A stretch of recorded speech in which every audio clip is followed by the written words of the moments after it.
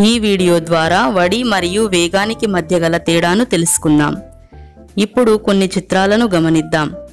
ఇక్కడ ఒక విమానం గంటకు ఐదు వందల మీటర్లు ప్రయాణిస్తుంది.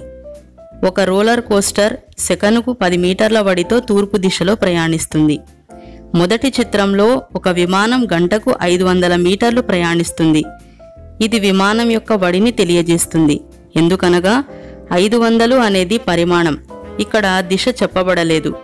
పరిమాణం మాత్రమే కలిగి ఉండి ఎటువంటి దిశ లేని వాటిని అదిశలు అంటారు. కావున వడిని అదిశ అని మనం చెప్పవచ్చు. ఇక రెండవ చిత్రంలో ఒక రోలర్ కోస్టర్ సెకనుకు పది మీటర్ల వేగంతో తూర్పు దిశలో కదులుతుంది. ఇది వేగాన్ని తెలియజేస్తుంది. ఇక్కడ దిశ మరియు పరిమాణం రెండూ చెప్పబడినవి. దిశ మరియు పరిమాణం రెండూ కలిగిన భౌతిక రాశులను సదిశలు అంటారు. కావున మనం వేగాన్ని సదిశ అని చెప్పవచ్చు. ప్రమాణ కాలంలో ఒక వస్తువు ప్రయాణించిన దూరాన్ని వడి అంటారు. వడికి సూత్రము ప్రయాణించిన దూరంపై కాలం. దీనినే డి బై టీ అని కూడా రాయవచ్చు.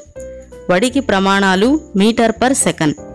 వస్తువు స్థానంలో ఎంత త్వరగా మార్పు జరుగుతుంది అనే విషయం మనకు వడి తెలియజేస్తుంది. ఒక వస్తువు చలనంలో ఉంటే అది ఎంతో కొంత వడిని కలిగి ఉంటుంది. చలించే వస్తువులకు వడి ఎప్పుడూ శూన్యం కాదు. ఒక నిర్దిష్ట దిశలో వస్తువు యొక్క వడిని వేగం అంటారు. వేగానికి సూత్రం స్థానభ్రంశంపై కాలం. దీనినే ఎస్ బై టీ అని కూడా రాయవచ్చు. వేగానికి ప్రమాణాలు మీటర్ పర్ సెకండ్. గమనంలో ఉండే వస్తువు యొక్క వేగం శూన్యం కాగలదు. ఒక వస్తువు ఒక స్థానం నుండి బయలుదేరి మరలా అదే స్థానానికి చేరుకున్నప్పుడు వస్తువు యొక్క స్థానభ్రంశం శూన్యం.